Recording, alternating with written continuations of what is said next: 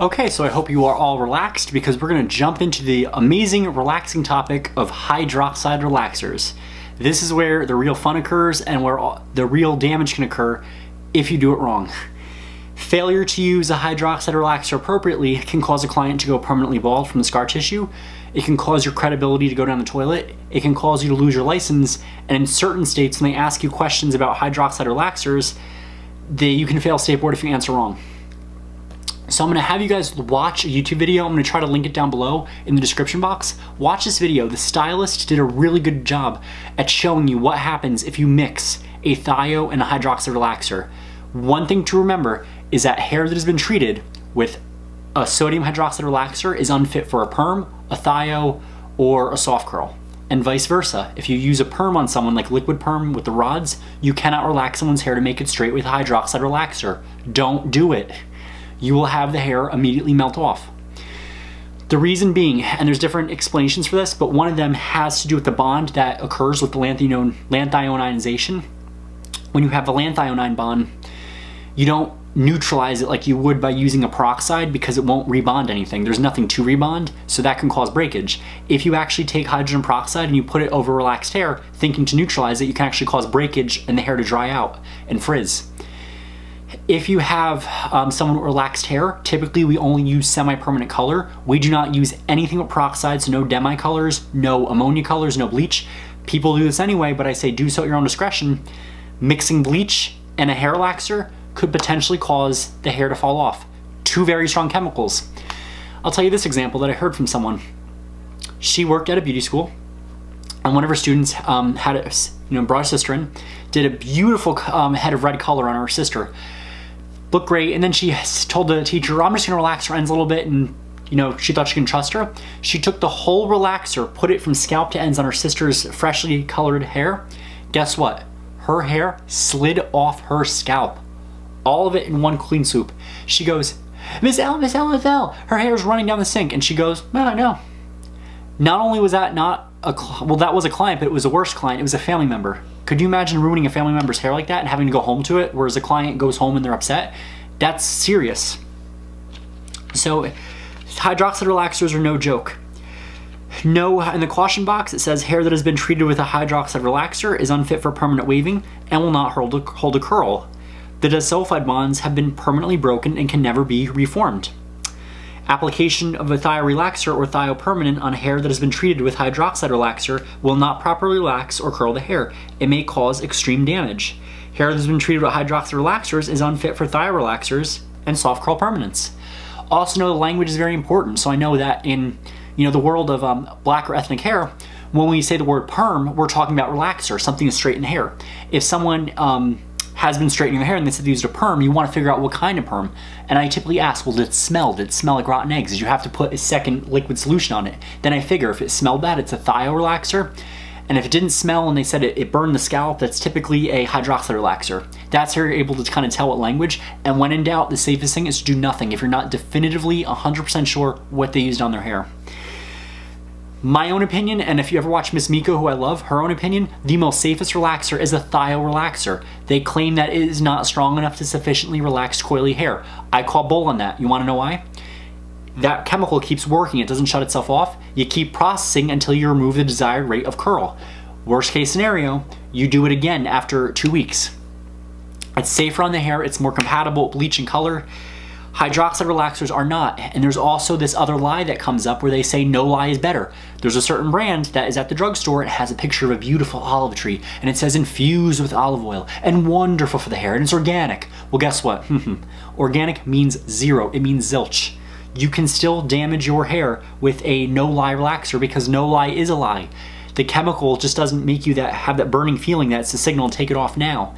You could overprocess your hair with no lye relaxer. So we're going to talk about that. Um, oh, and also no, too, when I said about the terminology of perms, there was another case I've heard of where the student um, who was black, she had a client come in and it was this little old white lady and she wanted a, um, a perm and she thought like, oh, I have to put a hydroxide relaxer on. She put a hydroxide, sodium hydroxide on this lady's hair. This lady's hair started coming out. That's where I gotta be really careful. So know that hydroxide relaxers have a hydroxide ion, and that is the active ingredient in them. They're very strong alkali with a pH over 14. Sodium hydroxide, potassium hydroxide, lithium hydroxide, and guanidine hydroxide are all types of hydroxide relaxers which can swell the hair up to twice its normal diameter. So now you're talking on the pH scale very alkaline. When you go to a pH of 14, you have to be very careful. And this is why I say you never want to start with a super relaxer, which is the strongest, because you can go bad real quick. It'll work like that. Worst case scenario, use a gentler relaxer, process that, and then you're able to, you know, keep it going and relax the hair to as smooth as needed. So we explain why they're not compatible. Also know that the pH is so high that the alkalinity alone is what's breaking the disulfide bonds. Average pH of the hair is 5, and many relaxers have a pH of about 14. Since each step in the pH scale represents a tenfold change, a pH of 13 is a 100 million times more alkaline than a pH of 5. pH of 14, even more alkaline. So they break um, hair bonds differently, and lanthionization the hair hydroxide relaxers permanently straighten the hair. The relaxers remove a sulfur atom from the disulfide bond and convert it into a lanthionine bond. A disulfide bond consists of two bonded sulfur atoms. Lanthionine bonds contain only one sulfur atom. The disulfide bonds that are broken by hydroxide relaxers are broken permanently and can never be reformed. This is why hair that has been treated with hydroxide relaxer is unfit for permanent waving and will not hold a curl because there's only one sulfur atom and not two. Also know that if you try to use chemicals like Olaplex or an additive in your relaxer, that will not stop you from getting damage. You can still get hair melting, hair damage, and a lawsuit if you're not careful. So there's different types of the relaxers. Um, you're going to become familiar with metal hydroxide relaxers, and they're formed by a metal, such as sodium Na, potassium K, lithium Li, and they're combined with oxygen and hydrogen. Metal hydroxide relaxers include sodium hydroxide, potassium hydroxide, and lithium hydroxide. Although calcium hydroxide is sometimes added to hydroxide relaxers, this is not used by itself to relax hair. And know that all metal hydroxide relaxers only contain one component and are used exactly as they are packaged in a container. No mixing is used. The hydroxide ion is the active ingredient in all hydroxide relaxers.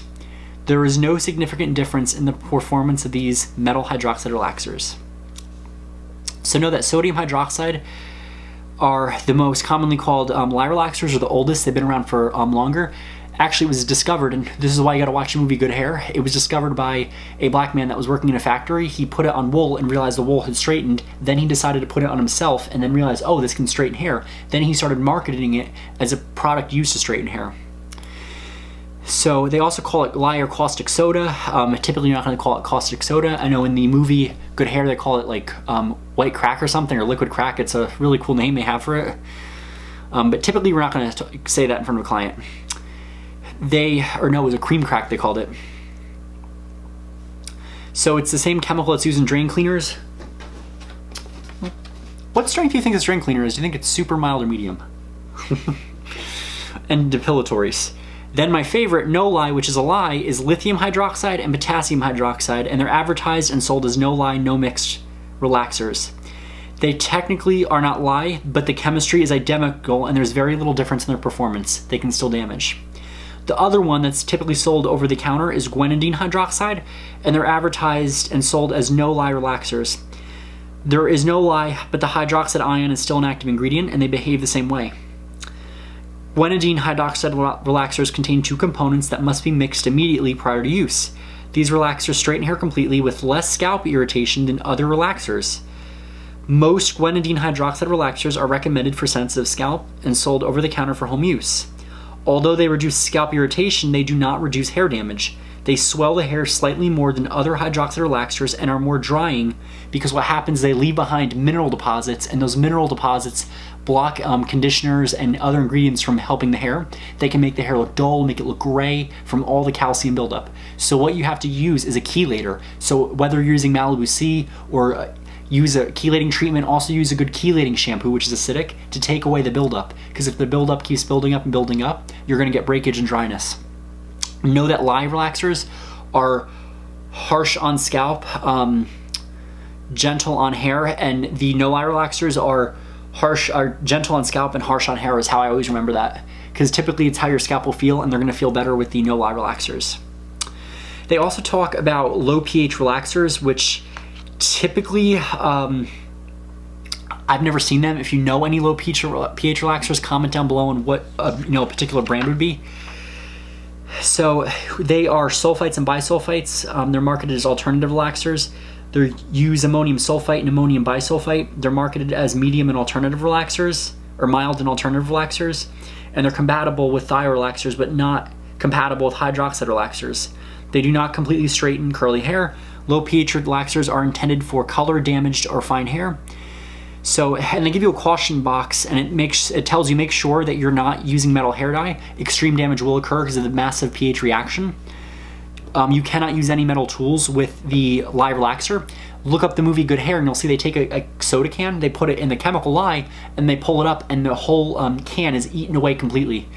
The old version of this book used to show metal foil testing for relaxer, which they changed now to plastic clips and a paper, because what would happen is the metal would actually get dissolved completely by the chemical. So no, um, when you combine your relaxer service with permanent or demi-permanent, you always want to relax the hair first and color it two weeks later. That's the best way to protect the hair. I typically say don't do it at all. Many manufacturers um, call demi-permanents no lift, but all demi-permanents uses low volume peroxide and other alkalizing agents such as MEA and oxidizing agents such as hydrogen peroxide. Um, in other words, like the term no lye, the term no ammonia does not mean no chemicals are used, so you can still get hair breakage if you use a demi or an ammonia-free color over a relaxer.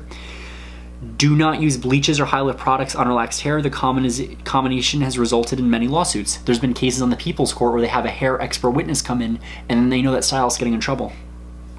You can use semi-permanent products the same day after you relax because they contain no ammonia or peroxide. You want to relax the hairs, relax hair first, then apply them. And when in doubt, always um, do a strand test to see what would happen. Um, know that same day chemical service always compromises the hair's integrity to some degree, whether you're combining hydroxide based chemicals and hair color or thio based colors and chemicals. For instance, same day coloring and Japanese thermal straightening can be done incorrectly and can result in extreme hair breakage and many internet postings, um, which will hurt your credibility. So don't be that stylist, especially if you're one of my style students. Mm-hmm. Hmm. If you're one of my students and I see your name in the paper, you're going to have to live with the shame of Mr. B being very, very upset with you. Hmm. So you'll also hear a lot of times when you're doing relaxers, you have to base the scalp.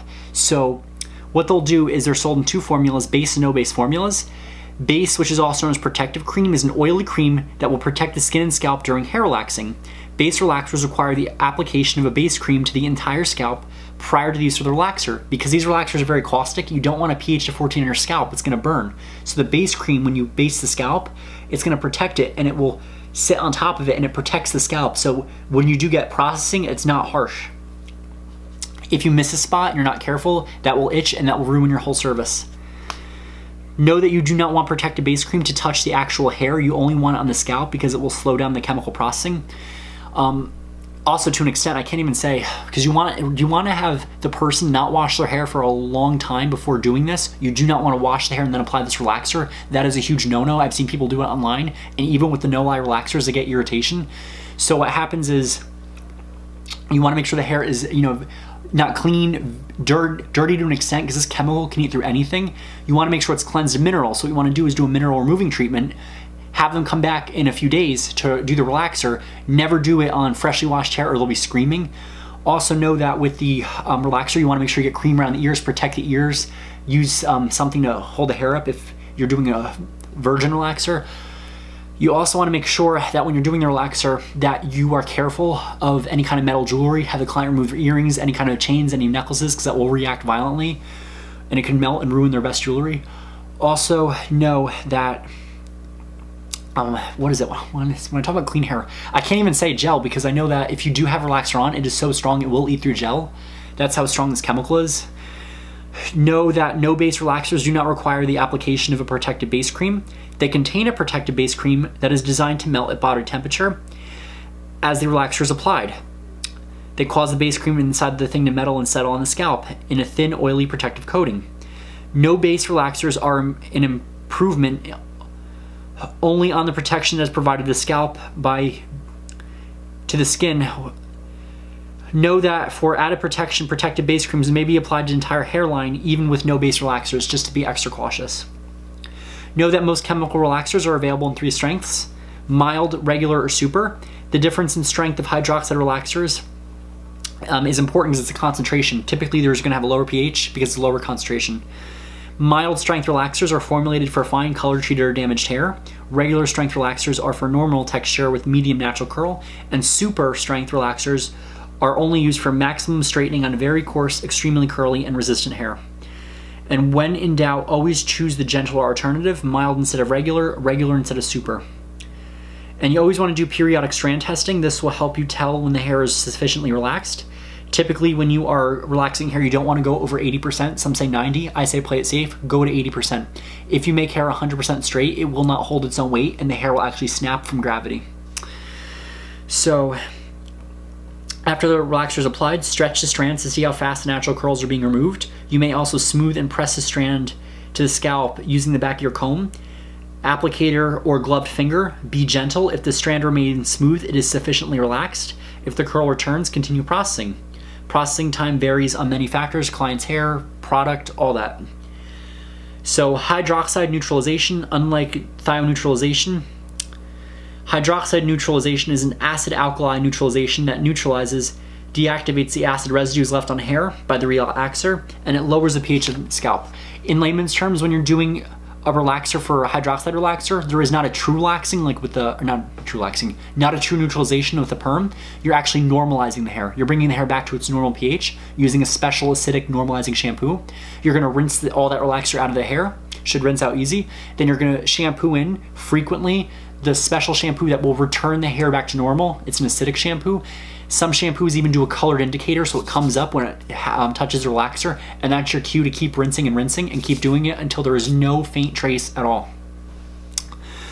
Also know that after you relax the hair, you do not want to use extreme heat. Some people do. I always go the safe way, do a roller set, do things that are very gentle because the hair has been put through a lot.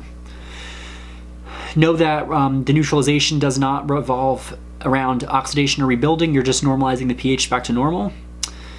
So what I'm gonna do is I'll let you guys go on your um, break here and I'm going to end this and we're gonna talk more about neutralization if I have anything else to add, some procedures that you should go through, talk about the chart, and then we're gonna talk about keratin straightening, which is a brand new technique.